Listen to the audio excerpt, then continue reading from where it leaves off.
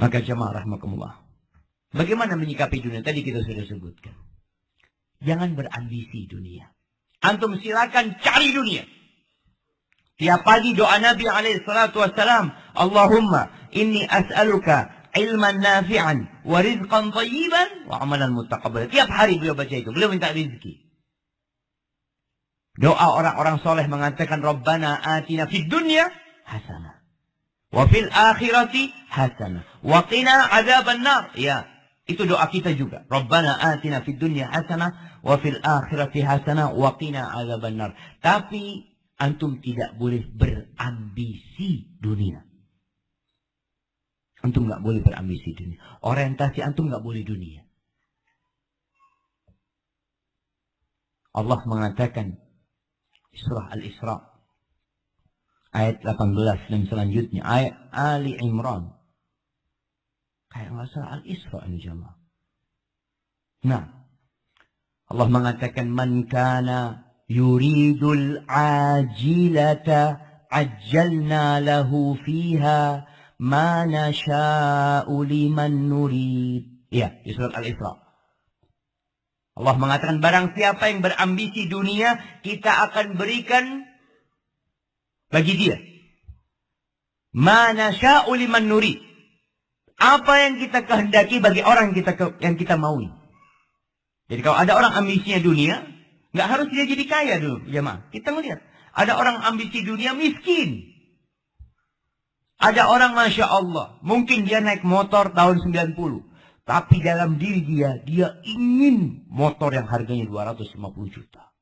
Ambisinya dunia. Nggak ada dalam benaknya ingin berangkat haji, ingin berangkat umrah. Dunia yang dia inginkan. Tapi dia tidak harus mendapatkan apa yang dia ingin. Tapi Allah akan kasih bagi orang yang Allah kehendaki. Thumma ja'anna lahu jahannam. Yaslaha malmuman mashura. Kemudian kami jadikan bagi dia neraka jahanam yang akan dia masuki dalam kondisi dia terhina, dalam kondisi dia susah.